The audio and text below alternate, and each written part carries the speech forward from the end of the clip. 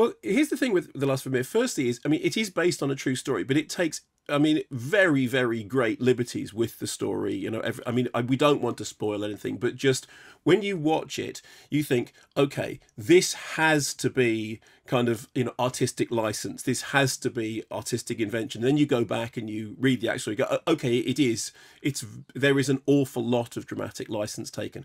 The reason that dramatic license is taken is because it is more dramatic. So the two things going on. One of them is how close is it to telling the actual story, which is well, the sort of the basic coordinates are true, but everything else is you know is is invented.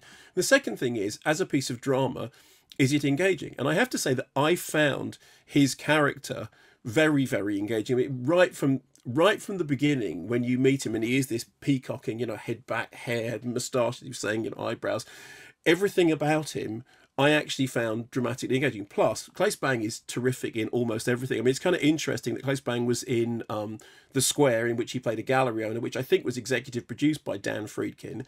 And then we saw him recently in Burnt Orange Heresy, in which he's an art critic who talks a lot about how much what you know about the background of a painting affects the way in which you might perceive the painting and whether or not it's, it's real or genuine. So Claes Bang has clearly got a thing at the moment, which is send me a script. Is it to do with art? If so, I'm on board. Yeah. Also, Claes Bang, Claes Bang is the actor with the coolest name of any actor in the whole world.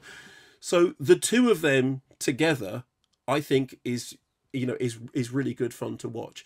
It is also true that some of the other characters therefore get sidelined, and it is also true that therefore, you know, the drama is all to do with the kind of the relationship between those two and the fiery sparks. Plus, I am also slightly a sucker for anything about forgery because I've always there's one line in in the film. This isn't a spoiler, in which something is revealed to be a forgery, and our central character says.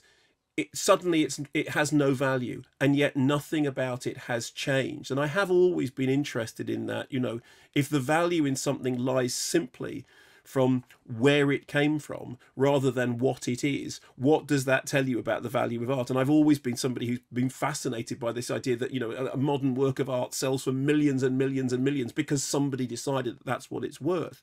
Um, that this doesn't have the depth of something like Never Look Away.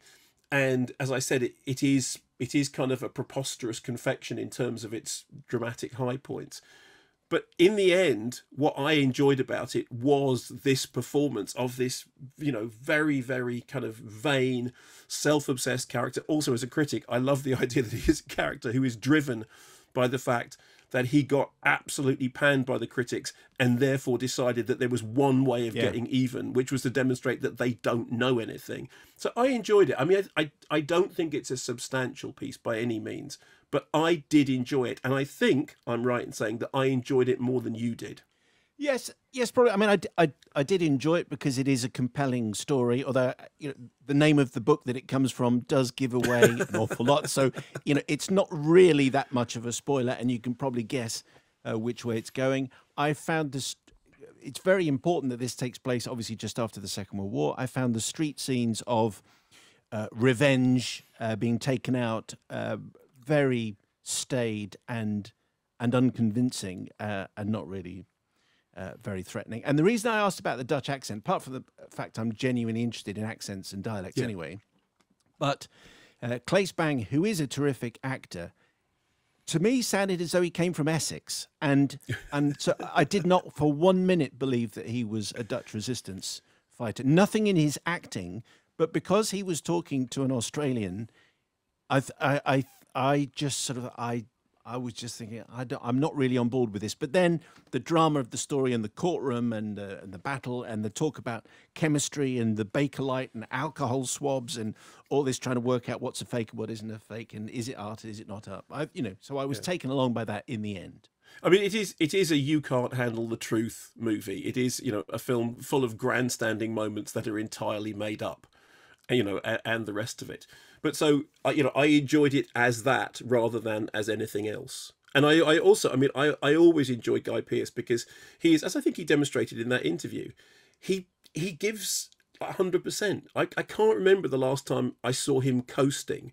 He looks like he really enjoys what he's doing.